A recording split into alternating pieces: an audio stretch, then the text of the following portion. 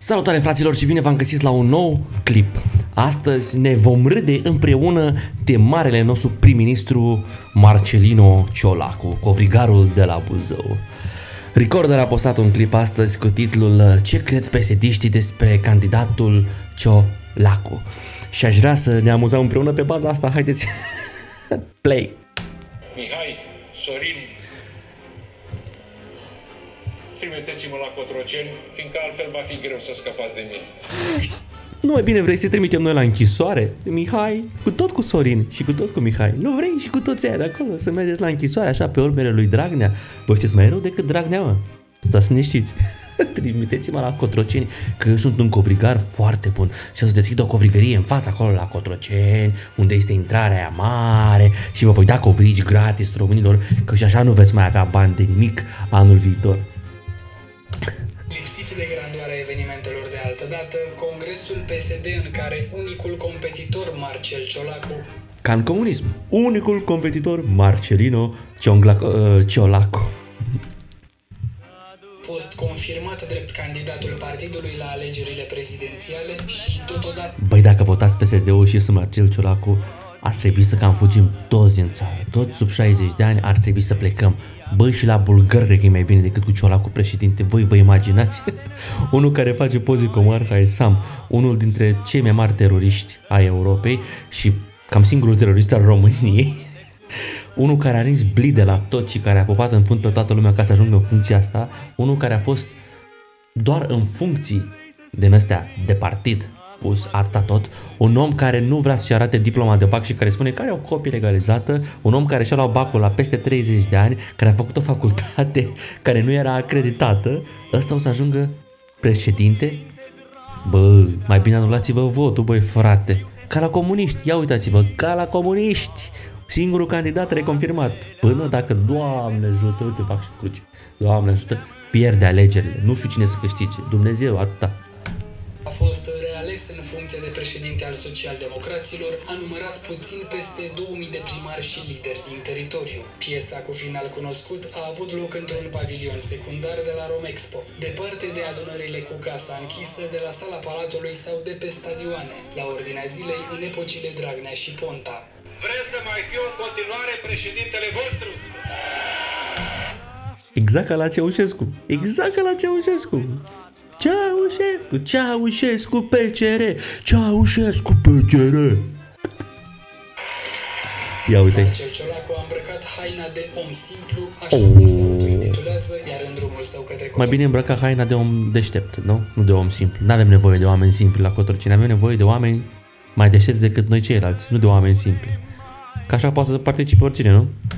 Cotroceni a început să presare promisiuni legate de echitate, pensii, salarii, autostrăzi, aderarea de plină la spațiul Schengen, vize pentru Statele Unite și deja mult trâmbițata stabilitate. Sunt Deci promisiuni, promisiuni românilor, vă dăm, vă dăm la... Înțelegeți voi ce vă dăm? Vă dăm de toate și la urmă vă luăm totul, totul. La 800 de mii de români le-au scăzut pensiile cu 10 de mii de lei. Chiar dacă ei spun, domne, dar la ceilalți au crescut, da, dar la 800 de mii de români le-au scăzut pensiile. Deci vă dăm. Asta ne dau ei. Ia. un om normal. El este un om normal. Prietenași, nu vrem oameni normali, vrem oameni inteligenți, oameni deștepți. Brătianu nu era un om normal. Era un om mai mult decât un om normal. Nu vreau să par altfel. Mai bine îi părea altfel decât prost. În germană mă refer, prost, la noroc să spune, știți. cât sunt. Și nu am promis mai mult cât știu că pot face. Oh, Acesta domnul analfabet, nu decât sunt, decât sunt, în limba română se spune, stimat domn analfabet. trebuie să fie planul nostru de țară. Voi nu vedeți toți politicienii că ei nu știu să vorbească fără prompter sau fără foi scrise? La liberi nu știu să vorbească sau să-și învețe discursul? Nu pot. Nu pot, că nu au. E gol. Industrie, producție și export. Domnule, vorbe goale, ca toți politicienii din anii 90 încoace. Măcar la Ceaușescu, când mințea și spunea lucruri neadevărate, mințea pentru că și el era mințit la rândul lui. Nu ieșea din ăia patru pereți și când ieșea, ieșea cu gărzi de corp și totul se făcea de către securitate să arate foarte bine. Bă, de ăsta știe mă care e treaba în țară. Ăsta știe care e contact. Și oamenii spun, și el ne minte pe față, mai ceva decât Ceaușescu. La sfârșitul anului vom avea o aderare completă la spațiul Schengen. Și dacă nu vom avea, să mergem cu furcile peste el și să-l ciomăgim? Și să-l dăm jos de acolo de unde va fi, orice funcție va fi? Să-l dăm jos și să-l batem? băi, cu furcile merg ăștia să-i luăm, băi, mâncava și gura voastră. Are și liderii PSD plecați cu noaptea în cap din toate Ia uite-l. colțurile. Ia uite-l, ia uite-l pe ăsta cum doarme. Ia uite-l. Ia, doamne. Of. Ăștia sunt politicienii noștri dragi aleși, care sunt plătiți cu zeci de mii de euro. Cu zeci de mii de euro. Unii chiar pe lună. Ăștia sunt. Ia uitați, uitați-l, uitați-l. României au răspuns la unison că Ia uite-le. Și doamnele astea, machiate ca în anii 25 la 100 de ani. Ia uitați-le ce feți au. Doamnă, cimitirul Belu nu mai are locuri, dar vă putem face rost dacă vreți. Ia uitați. cel ce Se uită la acela cu Marcel, ne-ai tăiat din pensie și nu putem să spunem. Uite-l. Ia uite cucoana asta de aici. Deci este cucoana aia care stă la ghișeu și face unghiile. Face unghiuțele și face genele și mulge sprincenele. Și la urmă spune oh, nu se poate. cu nu are adversar în cursa pentru Palatul Cotroceni. Ia uitați-le. Iar trecutul său îndoielnic pălește în fața calităților care îl recomandă pe actualul premii trecut îndoielnic. Ăla nu-i trecut îndoielnic. Ăla e trecut uh, aproape, cum spun americanii, are un criminal records. Uh, are un trecut cam, cum să vă spun eu, în afara legii complet, dar complet. la cea mai înaltă funcție în statul român. Bună dimineața, de unde veniți? Reala. La ce credeți că îl recomandă pe domnul Ciolacu ca să fie președintele României? tot ce e mai bun. E, e cuvânt, muncitor și corect. Îi mai lipsea limba să o scoată afară, să spună Of, doamne, e muncitor, e de cuvânt, de care cuvânt? Ăla care, pe care vi-l dă vouă și vă dă funcții și vă dă bani? Da, ăla, normal că ăla e un cuvânt foarte bun, da, pentru voi. Ia, mai departe. Unde a fost ales, mi se pare corect. Mi se pare corect, domnule. Dacă a fost ales, îi se pare corect să candideze la președinție, nu? Păi normal, ca să vă dea funcții și bani în continuare, vouă și ținecurilor de partid, nepoții cu metrie. Haide, bă, băiatule. Și nu s-a găsit și altcineva în partid care să rivalizeze cu domnul Ciolacu? Nu, nu, nu are valoare. Altcineva. Nu are valoare altcineva, ați auzit? Deci, dacă Ciolacu nu va mai preș- fi președintele partidului, partidul se dizolvă. Că nimeni nu are o valoare mai mare decât uh, Marcel Ciolacu, nu? Așa spun oamenii lui. Că singura persoană este... Nu că are valoare, e vorba de valoare. Eu să contrazic între ei. Și a depus atâția făcătură până în prezent. Nici ei nu știu. Vedeți? Și-au dat seama că sunt proști. La noi totul e deschis, e transparent. Tot Da, mă, ca la comuniști, totul este transparent. Totul. a realizat la premier. Păi ce a realizat? Ne-a îndatorat țara, ne-a adus inflația pe cap, inflație care face ca salariile să fie mult mai mici, chiar dacă ci că ele cresc puțin câte puțin, ne impozitează tot mai mult, da, da, da, da, și nu tai niciun post de la bugetari și niciun cost de la bugetul de stat. Și multe altele pe care le-a făcut. Care adversare cu un eventual tur 2 dacă ar Nu, nu, sigur. Nu are... Ăsta este, uite, ia uitați. Ăsta este un lingău, probabil este portarul de undeva. Portar paznic. Că altfel nu-mi închipui. Uitați-vă la el cum arată. Băiat deștept, a făcut ceva pentru români. Da, a făcut. După cum am zis, ne-a băgat în datorii. Ne-a băgat în datorii. să spuneți două, trei realizări, nu știu care vă vin în minte. Păi e primul proiectele care le-a adus, proiectul de stat. Domnule, proiectele. Domnule, proiectele pe care le-a adus domnul analfabet, nu care le-a adus. Bine, sunteți la PSD, nu avem ce așteptări să avem la dumneavoastră, dar este pe care, nu care. Proiectele, care proiecte, nu la general. Nu suntem filozofi. Adică mă refer la proiectele pentru fiecare localitate, Consiliul Județene. Și în eventualitatea în care ar ajunge un tur 2 la prezidențiale, credeți care vreun adversar de măsură? Nu, Nu știu, dar cred că e cel mai favorabil om pentru să-l alege. Este cel mai favorabil om să-l are la lege. Cum adică este cel mai favorabil om, domnule analfabet? Este cel mai favorizat dintre toți să fie ales. Este cel mai favorabil om. Cu cine este favorabil? Ia spuneți noastră. Ca asta înseamnă să fii favorabil cu cineva. Analfabet, bănene. Cel mai bun din toți președinții pe care a avut România. La toți au spus așa. La Dăncilă, că e cel mai bun președinte și și femeia, suntem moderni. Uh, la cine ai fost? La Dragnea, domnule. Dragnea, cel mai bun președinte, ne-a dus în fruntea țării cu 50 plus 1% din voturi. După aia cine a fost? Joană, cel mai bun președinte. Ponta, cel mai bun președinte. Uh, Năstase, cel mai bun președinte. Domnule Iliescu, cel mai bun președinte. Bă, nu mă mâncați-mă cacao, mă, cu lingura, că pute până aici. Păi n-are, că e gras și e greu să găsești un adversar gras și înalt ca el și să știe să facă covrici, nu? Forța. Calitățile atât individuale cât și generale. Trebuie să ne numerați două. Ăsta e cel mai tare și cel mai fără minte. Calități individuale și generale. Deci are și calități individuale generale. Care sunt acelea bănăne? Ia să vedem.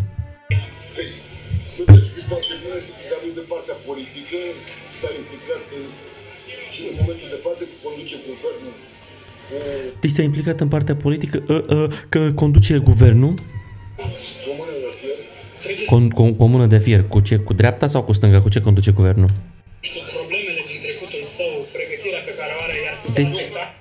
Ne-a spus ce calități are. Uh, uh, comună de fier, guvernul că, că conduce, că conduce. Că conduce domnul cacofonie.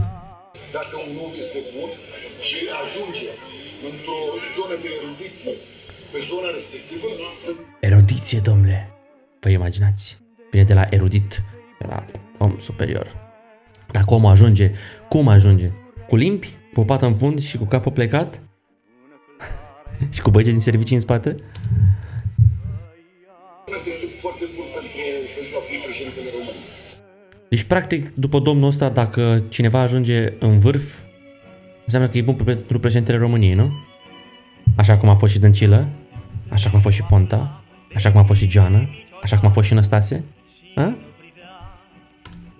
Îl recomandă pe Marcel Ciolacu ca să fie președintele României. Profesionalism. Gata, ăsta ne-a lămurit. Profesionalism, domnule, ne-a zis tot.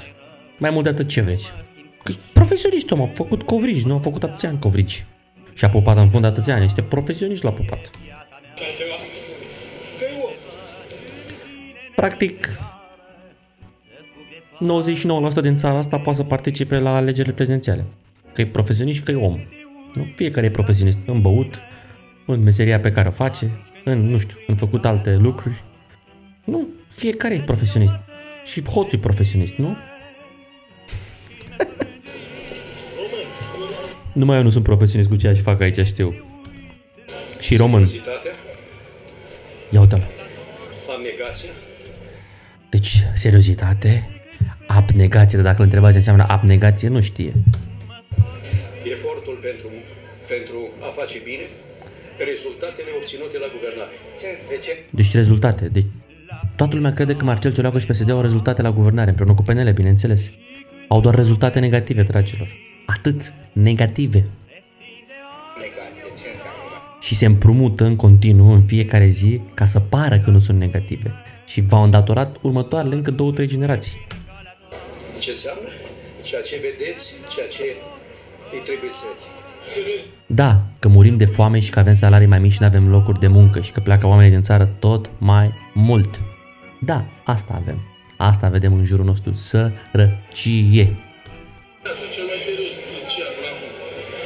Deci e cel mai serios politician până acum și după congresul ăsta s-a dus în parc Olguța Vasilescu și mâncau covriți. Crezând că ne păcălește pe noi, făcând o autoironie la adresa proprie și personală a dumnealui, a lui Marcel Ciolacu. Asta făcea seriosul de Ciolacu. Da? Pentru noi, pentru Buzăi, cel puțin a fost cel mai bun. Pentru buzoieni, eu ca buzoian mie mi-ar fi rușine, sincer. Eu sunt din Galați și e acolo lângă și mi-e rușine, mi-e rușine rău de tot pe Franț Fiu din capătul ăla din Oradea.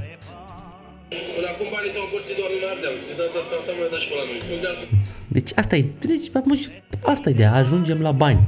Totul este despre și cu bani, atât. Nu mă interesează CV-ul, nu mă ajută cu nimic. că Ia o spel, nu-l interesează CV-ul. Domnule, asta e gândirea pesetistă. Nu ne interesează, domnule, CV-ul. La ce avem nevoie noi de CV? La un politician, nu? Da, hai să mergem, domnule, pe coclaurile țării și să luăm pe oricine, că nu contează CV-ul, nu? Asta spune nea, nea, nea, nebărbiritul.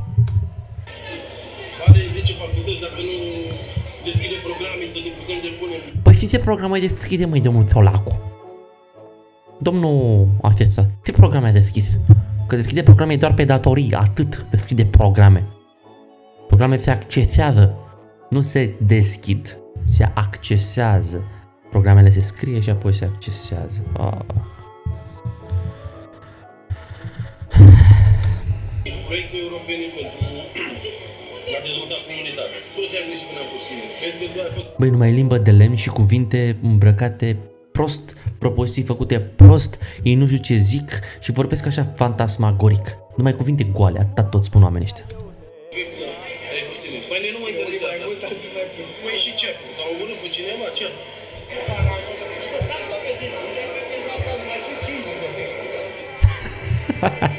Ia uite, vin băieții, vin grei. Foști mari sportivi cu vocea Uite, doamna Elisabeta Lipă, în locul dumneai, mie mi-ar fi rușine să apar pe scena politică după ce am făcut o carieră sportivă pe care am făcut tot respectul pentru cariera sportivă, dar iertați-mă, în momentul când apar cu PSD, nu poți fi decât plăcut să suedezi atâta tot.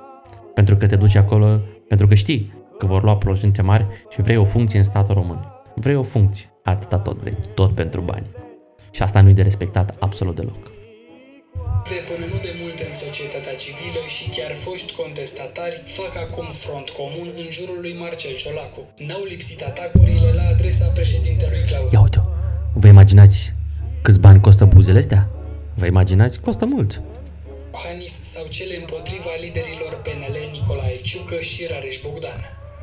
Dragii mei, A venit all, all, guța. Guța, guța, guța. Ia să ascultăm noi pe Olguța, de la Craiova. venirăm și noi de la Craiova. Veniră și ea, m-a făcut o glumă. A început cu o glumă, a început cu perfectul simplu, venirăm. Dar ori mai departe știe să vorbească? 240 de ciuci distanță. Nu, mai bine nu ai măciuci decât ciuci. Ca așa se spune acum, de când Ustașul s-a apucat să Mhm. Da, facă. dragă, și a făcut uh, o ironie la adresa lui Ciucă, care are toate afișele alea penibile prin toată țara, cu o carte pe care încă, că n-a scris-o, încă n-a apărut momentan, o penibilitate. toate autostrăzile. Astea se numesc limbi. Ce face doamna? Se numesc limbi. Limbi date, cum să zic, de la noada fundului până la buric. Știți, vine așa. Asta, astea sunt limbile și apoi înapoi. Înțelegeți? Așa se dau limbile. Doamna este profesionistă, luați aminte, învățați, nu fiți fraieri. Scrie bestsellerul. Suntem Scrie bestseller N-a știut să citească pe pe foaie scria B S L R bestseller și era scrie bestseller mm. Oare asta au vrut să scrie băieții ăștia? Ce înseamnă bestseller? Bestseller Stimata doamnă Ia să le vedem și pe sclavetele astea Uitați tuns puțin Bă, te-a luat aiurea mă în dreapta În dreapta ta feriți de adversarii noștri. Da. Suntem Ei sunt diferiți Ei sunt mai mulți și fură mai multe, adevărat buni decât ei. Uh, da, sunteți mai bun la furat, e foarte adevărat, și la distrus țara, de la domnul uh, KGBist Iliescu încoace. Vă rog doar să vă uitați la balerinul politicii românești. Ori de câte ori ceva bun se întâmplă, acesta face spume. Este extrem de supărat, fiecare grimasă a feței lui transmite ciudă atunci când se întâmplă ceva bun. Și vedem în aceste zile cu pensiile cât de supărat este Oamenii ăștia sunt pustoși pe proză. Mai bine făceau un congres în remake, era mai interesant.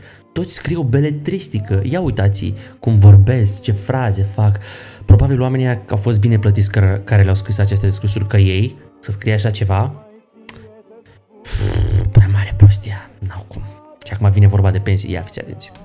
că se măresc pensiile, el și colegii lui. Și da, mă refer la balerinul Rareș, dacă nu vă era foarte clar. De peste Domnule, balerinul Rareș Bogdan care tăia pensiile speciale în 30 de zile. Domnul, domnul care el nu linge de la nada fundului până la buric, nu. El este singurul care face înconjurul, duce de la nada fundului, trece, vine la buric, după aceea duce la gât, după aceea trece peste cap și ajunge înapoi la nada fundului și apoi o ia invers. Înțelegeți? Pe șolduri. Deci domnul Rareș linge mult. Dar uh, voi vă imaginați că ăștia sunt la guvernare împreună, dar vor să ne dea noi impresia că ei se ceartă între ei. Ei sunt niște dușmani feroci acum că vin alegerile și se ceartă între ei și noi poștii punem botul. Că ia uite, domnule, ce a zis penelistului și eu acum votez PSD-ul că s-a luat de PNL. Și penelistul îi spune, domnule, ia uite ce spune despre PSD-istul la abort. Gata, domnule, votez PNL liberal că se ia de PSD. Bă, rene, sunt la guvernare împreună, iau decizii împreună, mai fiți fraieri. Că sunteți fraieri unul dintre voi de 30 ceva de ani și votați PSD în continuu pentru o sticlă de ulei și un kilogram de zahăr. Să vă fie rușine. de la Romexpo a ținut un discurs laudativ și Dumitru Costin, Ia uite. liderul Confederației Blocul Național Sindical, care numără peste 320.000 de membri. Blocul Național Sindical, ăsta e vorba de sindicate. Ce treabă au sindicatele cu PSD-ul? Ne întrebăm, nu? Ce treabă au? Și acum vă răspundeți la întrebarea de ce au cedat sindicatele atunci la protestele profesorilor. Și de fapt, sindicaliștii aia din frunte au trădat profesorii. I-au trădat pe față și încă stă în frunte și profesorii au tăcut, au plecat acasă ca fraieri. Vedeți? Cu PSD-ul mână-mână, pe față. Cunosc astăzi în fața dumneavoastră Băi, nene, stai. Eu nu m-am uitat la clipul ăsta, să știți că e prima oară când mă uit și eu. Mamă, ce țipete, doamne, ferească Dumnezeu. Parcă vrea să ne bată. Vă imaginați cum țipă la sindicaliști ăia? sunt unul dintre cei care l-au încurajat pe domnul Marcel Ciolacu să candideze la președinția României. Uitați că aici trebuie să mă uit așa. Absentă de la Congresul PSD a fost Gabriela Firea, înlăturat Deși mare absentă, ia uitați-o aici, nu este, a fost Gabriela Firea. Domnule, probabil făcea așa. Dragoste cu soțul ei, nu are voie în voluntari, acolo în orașul voluntar, care nu este București și care este fieful lor, dar poate este la Bruxelles și face legi pentru țara aceasta. Dragilor, nu mai fiți răi. De ce lipsea? Nu că s-au certat. Nu, nu, nu. Lipsea așa că... Ce n-aș știu congresul PSD? Este președintele PSD București și da, ești tu, domnule. Cum să știe ea că e congresul PSD? Nu să știe, dar nu i-a zis nimeni. Ei, nici măcar bărbatul său care e tot PSD. sâmbătă de la conducerea partidului, la o zi după ce a rămas fără funcția de prim Ia uite. Ia uite sclavii sistemul. Ăsta este... Ia uitați-l. Ăsta este SRI, Grindeanu. Ăsta este sclavul SRI. Ăsta e infiltrat Grindeanu. Ăsta e sclavul SRI. E la mâna lui ăsta.